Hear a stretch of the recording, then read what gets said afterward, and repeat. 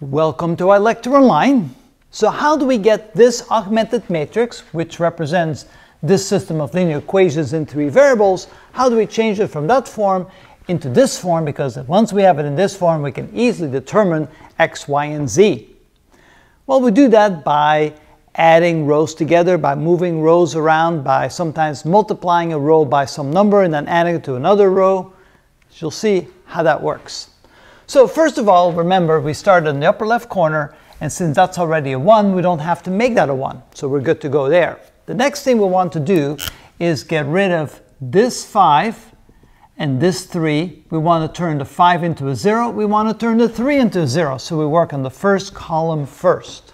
So how do we take the 5 and turn that into a 0? We don't care what happens to the other numbers. We just care about that. We want that to be a 0. So the way to do that this is, of course, row 1, this is row 2, and this is row 3.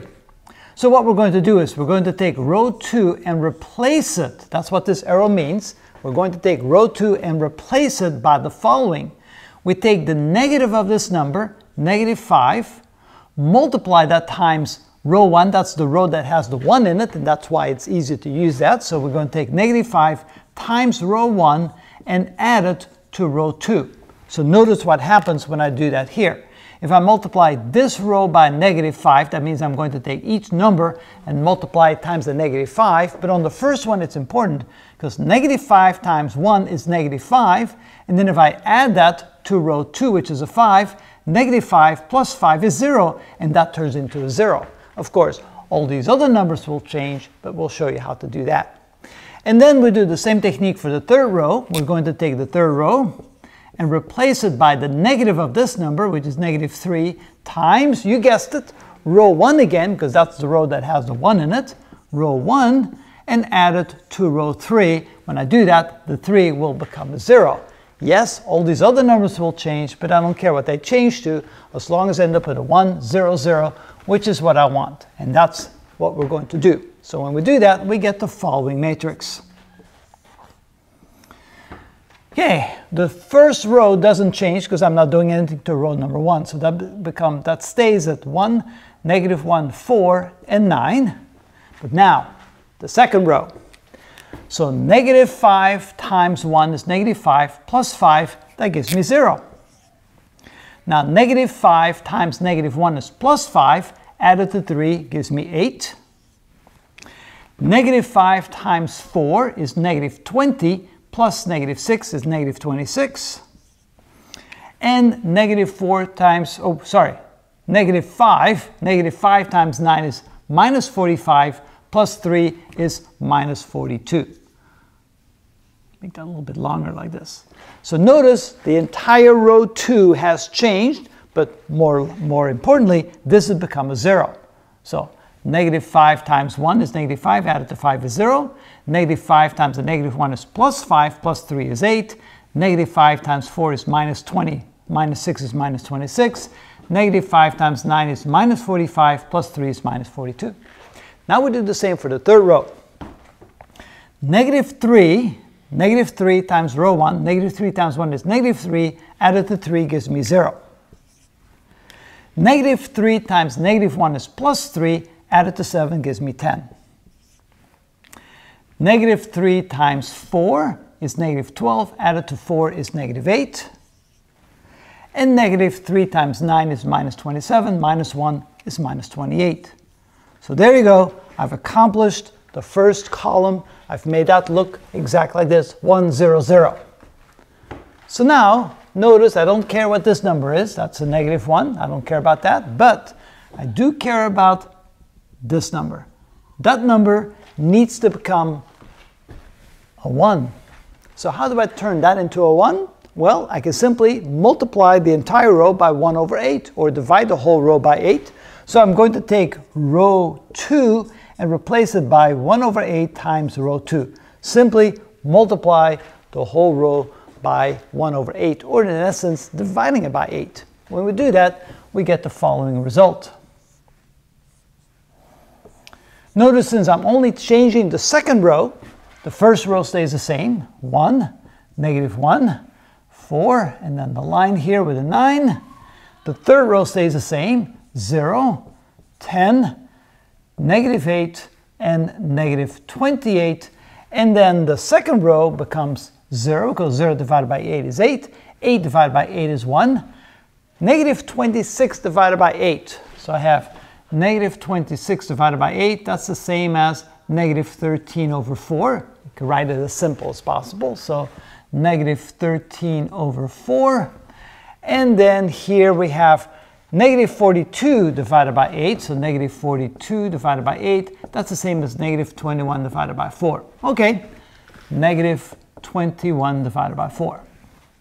So I've accomplished this item right here. This had to be a 1. I now have that as a 1. Next, I want to take this 10 and turn it into a 0. So I need to get rid of this and turn it into a 0. How do I do that? Well, as follows. I take row 3 and replace it by the negative of this number, negative 10, times the row with the 1 in it, which is R2, row 2, and add it to row 3. So negative 10 times 1 is negative 10, added to 10, I get 0. And that's what I'm trying to get. I want a 0 there. I know the rest is going to change, but I don't care what that changes to. All right, so that means that row 1 stays the same. 1, negative 1, 4.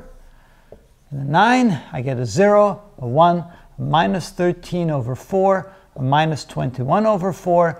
But this row now becomes the following. I get 0, 10 divided by, let's see, what do I get?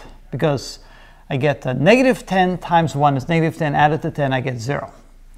Negative 10 times minus 13 over 4. Wow. So let me work that out on the side. Negative 10 times the negative 13 over 4 gives me a positive 130 divided by 4. And I'm going to add that to a negative 8. So that's minus 8. 130 divided by 4. So sometimes a calculator comes in handy. So 130 divided by 4, that is 32.5. So this is equal to 32.5 minus 8, which is equal to 24.5. So negative 10 times this added to this gives me 24.5. And negative 10 times this, well, that gives me a positive 210 divided by 4, and then I'm going to add that to a negative 28, minus 28. So what is that equal to? 210 divided by 4, that's 52.5, so 52.5 minus 28. That gives me a positive 24.5. Okay, 24.5. Almost there because the last thing I need to do is this needs to become a 1. And how can I make this into a 1? I can take that whole row and simply divide it by 24.5. So I'm going to do that next. So the next thing I'm going to do is I'm going to take row 3 and replace it by 1 over 24.5 times row 3. In other words, simply take the whole row and divide it by 24.3. Everything else stays the same. So I get 1 negative 1, 4, and a 9. The second row, I get 0, I get 1, I get minus 13 over 4, and minus 21 over 4. And when I divide this whole row by 1, uh, by 24.5, I get 0, 0, 1, and 1. Now I am I'm done because, well, almost done, at least this portion of it, because I have this whole thing look like this. Ones across the diagonal, zeros to the left, and so that's what I try to accomplish. Now, how do I read this? Remember that, where's my red pen? This is my x column, my y column, my z column. So this tells me that 1z is equal to 1. So simply by looking at that, I can simply realize here that z is equal to 1. So from that, I can tell, so here was z equal to f, z equals 1. I can conclude that z is equal to 1. And from the previous videos, since we're using the same system of linear equations, we remember that's the correct value. So now that I know that z is equal to 1, I can now go to the second equation, which tells me that 1 times y minus 13 over 4 times z is equal to minus 21 over 4. But I remember that z is equal to 1, so when I replace z by 1, I simply get y minus 13 over 4 is equal to minus 21 over 4. Which means I can say that y is equal to minus 21 over 4 plus 13 over 4. Minus 21 plus 13, well that looks like a minus 8 over 4 which is equal to minus 2, or y equals minus 2. And from memory, doing that a few videos ago, remember that was the correct value for y. Now the only thing left to do is to find out what x is equal to. So here I can tell by the top equation, I can say that 1x minus 1y plus 4z is equal to 9. And remember that z was equal to 1 and y was equal to negative 2. So x minus a negative 2 plus 4 times z, which is 1, is equal to 9. And if I simplify that, I get x plus 2 plus 4 equals 9. That's equal to 6. Subtract from both sides, I get x is equal to 3. And so there you go. The solution to that system of linear equations in three variables is x equals 3, y equals negative 2, z equals 1. And how do we get that? By taking, the, by taking our augmented matrix and transforming it into what we call the row echelon form with ones across diagonal, zeros on the left side, so we can easily read what these three equations are equal to and find the values for z, for y, and for x. And that is how it's done. I thought you said it would be easy.